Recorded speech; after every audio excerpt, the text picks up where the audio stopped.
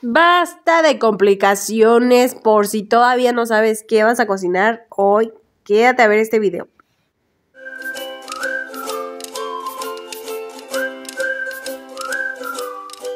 Y primero que nada ya saben que empezamos a calentar aquí nuestra cazuelita. Vamos a hacer un arrocito blanco, que no hay nada que me relaje a mí más en esta vida que hacer un delicioso arroz blanco. No sé, me gusta mucho, aparte de, que me gusta más de el de sabor, también me gusta más hacer el arroz blanco que el rojo. No sé, ustedes comentenme, ¿ustedes cuál les gusta más? Y eso sí, siento que, por ejemplo, el arroz rojo va con más cosas, o sea, como que, como que el arroz rojo, ahora sí que es el arroz de todos los moles y los guisados habidos y por haber. Y el arroz blanco a veces como que no se antoja con todo, pero pues está bien delicioso también. Aparte de que es mucho más sencillo, no me van a dejar mentir.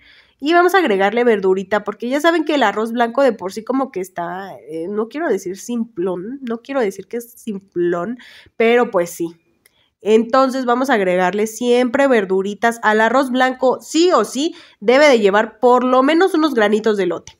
Ya después de haberlo dorado ahí un ratito, vamos a agregar ajo y cebolla bien picaditos.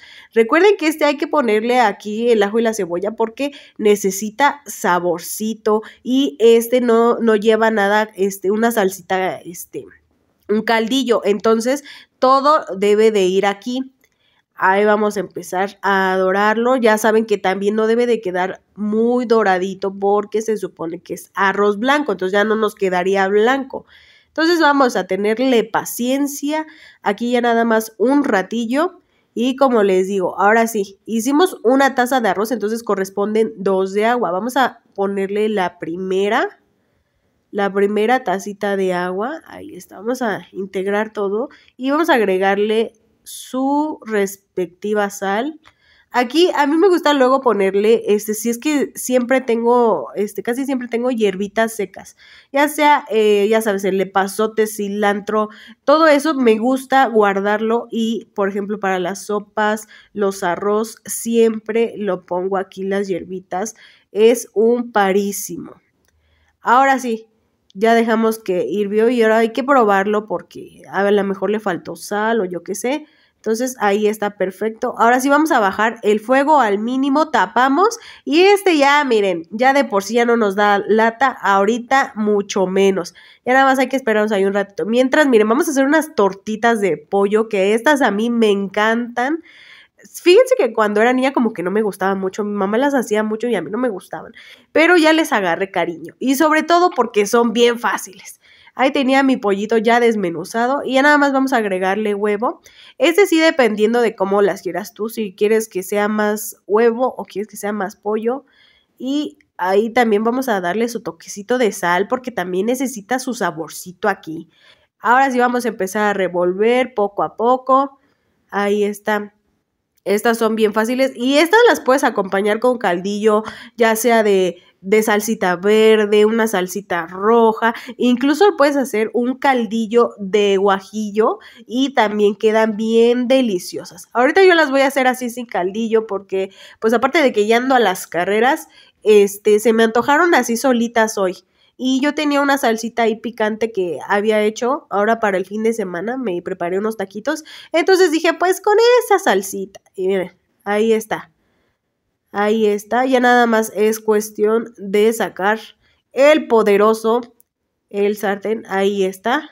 Vamos a esperar que se caliente y vamos a agregar tantito aceite. Hay que aprovechar cuando los sartenes son de teflón y hay que agregar poquito aceite. No pasa nada, no se nos va a pegar.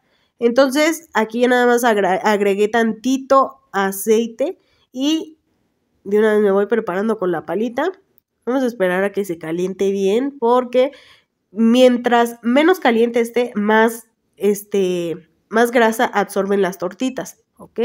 Entonces aquí ya nos esperamos y con una cuchara de estas de las normales con las que te echas tu pozolazo, ahí vamos haciendo las tortitas. Miren qué bonitas. Por eso no me gusta ponerle tanto huevo, para que no se nos desbaraten todas ahí. ¿Ya vieron? De hecho, estas tortitas a mí también me encantan. Hago unas con espinacas y quesillo. Ay, no, hombre. También esas saben deliciosas. Ahí está. Ahora sí vamos a ir formando las tortitas aquí en el sartencito. Y como les digo, miren, así, así bien rápido ya tienes y eh, quedan bien ricas y te las puedes poner, te las puedes comer como almuerzo, como comida, como cena, como lo que tú quieras. Aparte, acompañada del arrocito blanco, ya la hiciste, ya la hiciste, ya tienes, ya tienes menú para hoy. Ahí nada más es cuestión de estarlas moviendo y estar haciendo más. Una me salió bien chiquita y esa es la que se la voy a aprovechar para dársela a mi hija. Ahí está, ya ves que les llama más la atención si la comida está pequeñita. Aquí vamos a revisar el arroz, miren. Ay, no, como que siento que me voy a esperar otro ratito. No sé, siento, siento yo. Porque todavía se ve que, ah, miren, en el fondo, así se debe de ver. Ya sin nada, nada de líquido. Ahora sí, le apagamos y hay que dejarlo ahí reposar. Acuérdense que el arroz se deja reposar para que quede así. Miren nada más. Ahora sí, el menú completo delicioso y súper rendidor.